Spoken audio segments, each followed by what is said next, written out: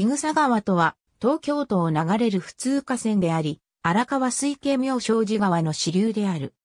全区間が東京都杉並区内であり、暗渠化されている。一部の稼働上が遊歩道として整備されている。遊歩道として整備されている旧伊草川水源は、杉並区上伊草4丁目にある杉並区立切通公園とされる。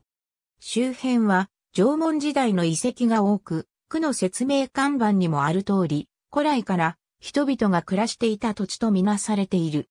ここから東へ流れ、東京都立杉並工業高等学校敷地内、杉並区立三谷小学校の北側を経た後、徐々に北上を始める。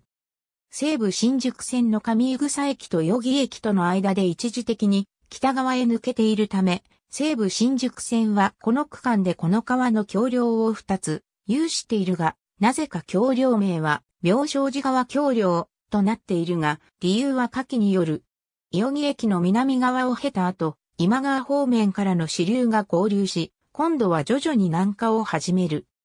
杉並区立桃井第五小学校の東側、杉並区立中瀬中学校の西側を経て、清水二丁目にある杉並区立妙正寺公園内にて妙正寺川に合流することになっている。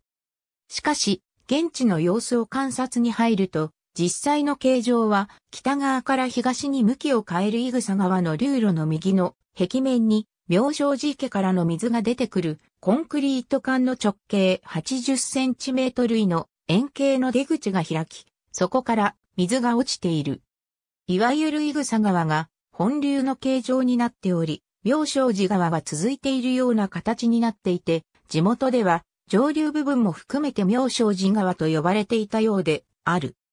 2010年3月6日、放映テレビ東京、出没。アドマチック天国散歩ついでの水路探し、妙正寺川編、イグサ川。ありがとうございます。